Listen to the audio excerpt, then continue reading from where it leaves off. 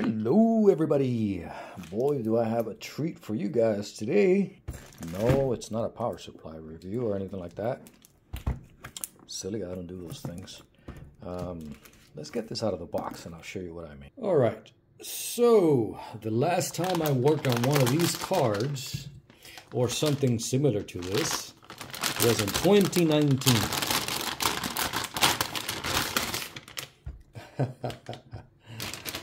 uh, granted, it is an oldie, but goodie. Uh, this is the Titan Z. Um, it looks like it has been opened before. So it's a basically, if you don't know, if you're not familiar with this, um, with this card here, as you can see there, Titan Z. Um, if you're not familiar with this stuff, uh, it's a dual GPU setup. So back in the days when AMD and NVIDIA were doing this type of stuff. So there's basically two GPUs, two GPU cores and memory um, connected via bridge, SLI bridge on board the graphics card. So that's essentially what this is. I remember the first dual GPU core uh, graphics card that I had was the, I think it was called the GTX 295. And that was, boy, that was a long time ago. I think it was a 295. I don't remember exactly. Um, and then uh, 690, GTX, GTX 690, which I repaired in 2019. Man, that's over six years ago. Um, and now, this thing is a legend. So, all right.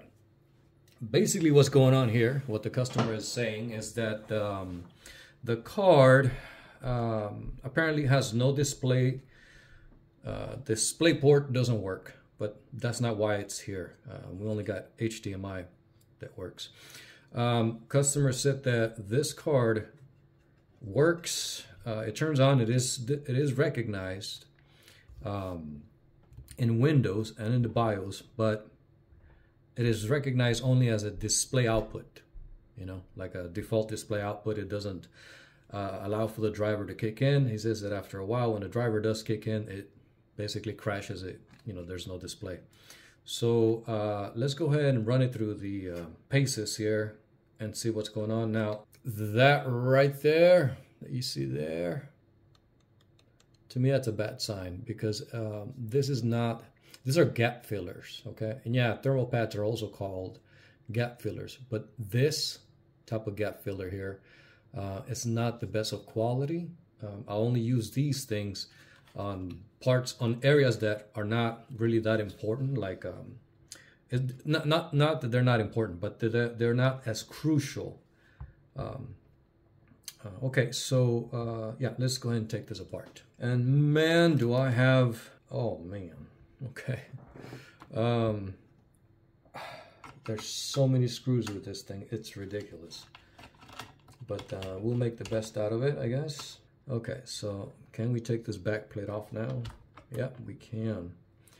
And yeah, as you can see there, this is what I mean. Like, um, the problem with these thermal pads is that they're very rigid. They're very like, how do you say, uh, stiff. And you putting these pads here and then tying them down upon SMDs and things like that, these pads, and just by looking at them, just by looking at them, they're exerting a lot of pressure, a lot of pressure on those SMDs. So this is, this can cause, just this by itself can cause so much damage to your GPU because these pads are not designed for this type of use. They're, uh, in fact, I'll go as far as say that like this is the worst thing that you can do to your GPU. Here you should be using a, something a, a lot less um, uh, hard than this. Um, some silicone pads, you know, better quality uh, than, this stuff. Um, and these are Arctic cooling pads. I'm pretty familiar with these also. And they're very stiff. These are very stiff pads. And I would not use them for this purpose here either. Um, especially over memory because they're not forgiving. They're very stiff and very uh, problematic if uh, applied in the wrong places. Um, so let's just go ahead and start removing these things here. And you can already tell what I was talking about. There's so many memory chips here um, that NVMT and MATS have trouble. Um, yeah, just look at that. So memory chips here, memory chips here. Uh, and your SLI bridge is on the other side of this here, and that's what we're going to be taking a look at here in a moment. And okay, so let's just see if we can get in there now. We may have to remove, yeah, I think so. We need to remove this here. And I just forgot something. I did this backwards because I was supposed to take um, um, some measurements here, take some numbers, but you know what? It's too late already. So, oh no. Oh no, no. Oh man.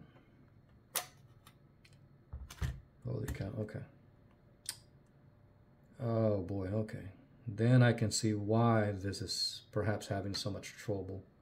Or he's experiencing problems with this because these pads are unsuitable for this. And I, I don't want to bash on the customer. I, I don't want to do that, but maybe he's not, he, he didn't know, but these pads are not, they're not your best friend. If you see these on eBay or AliExpress, stay away from this crap.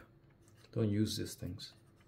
Not only are they not the best uh, in thermal transfer, like thermal conductivity, uh, but they're also very, very stiff. Like the hard, their hardness is it's ridiculous. So not good for this here. Maybe on the back over some um, over the back of the VRM where there's actually nothing there. Yeah, I would use these, but not actual SMDs or surface mounted devices such as memory and you know other components. I will not use these pads here. And yes, I'm going I'm going down hard on these things because uh, I from experience I can tell you these these things cause more problems, more trouble than they do good. And I know some of you may be out there saying, "Oh, I use those and, you know, I've never had any issues." Well, good for you. Lucky you you got a trophy coming. But um, that hasn't been my experience at all. Um, and uh, yeah, just if you want, if you care about this stuff, you know, I suggest you spend the extra money on better thermal pads. Okay, um, I'm gonna go ahead and clean this up real quick, and then we'll get into the nitty gritty of things here. Okay, so here you have your SLI bridge. This is what connects uh, logically, what connects these two cores uh, so they can work um, uh, together along with all these memory chips, front and back. Um, very intricate setup.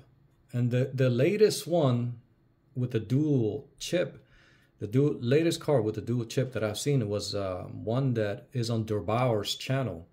Um, it was two 6800 RX 26800 cards or, or cores on a single PCB.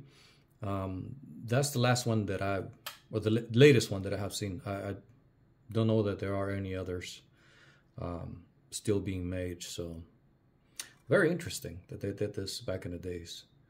Uh, but anyway, okay, let's start checking some numbers here. Tells you what kind of uh, quality of technician I am, right? Mm-hmm. Doing things backwards. Should have done this before I took the card. What are you thinking sending your card over here? Man. Anyway, I was pretty excited when I um, when I heard that this thing was, uh, you know, coming. So let's check. Place you here or somewhere where you guys can see. And the customer said that this was uh, safe to plug in, so I don't doubt him, but it's good practice to always check yourself.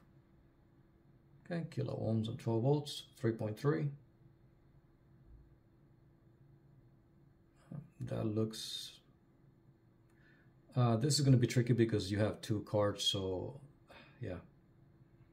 our data lines,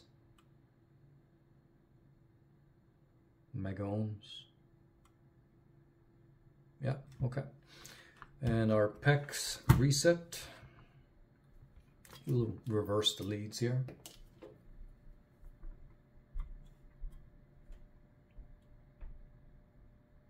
Mega ohms.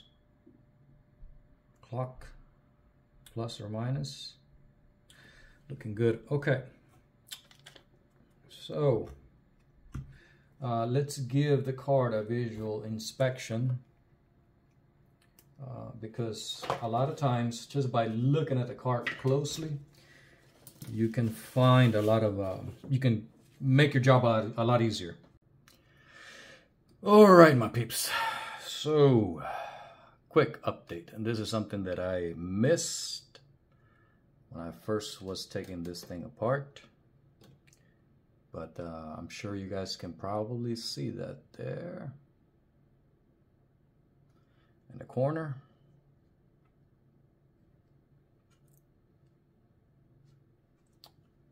Yep, it's a uh, cracked crystal and not just this corner here as you can see there but also here and you can see a lot of scratches here this thing has been uh, damaged and treated pretty badly.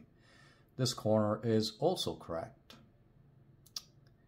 And this is typically where all the uncore, the you know the um, the uncore part, memory controller, that stuff is located on this GPU.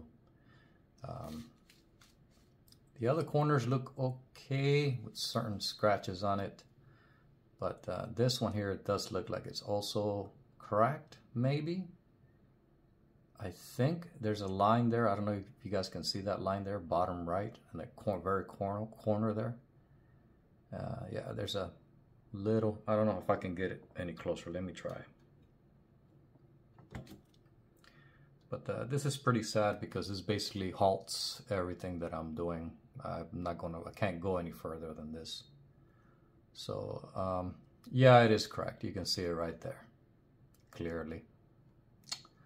So four corners of this GPU die are cracked. I'm, I'm surprised that this thing even booted or kind of booted.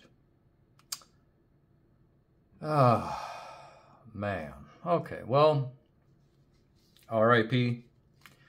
Uh, very sad. I was about to uh, replace those caps there too that are missing, but this just uh, changes everything. You can see that there. I feel bad for the customer because I was really looking forward to uh, working with him, you know, and helping this or helping him with this special card. I think it is a special card. Uh, it's a relic, you know.